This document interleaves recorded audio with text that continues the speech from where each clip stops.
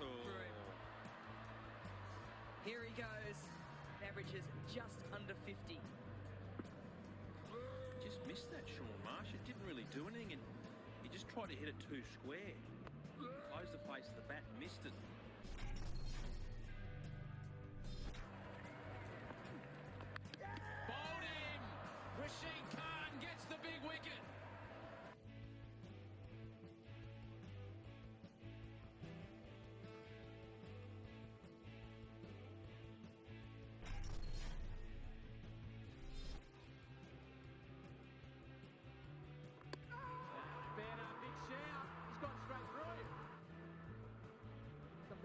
world of feet to see by his good weight.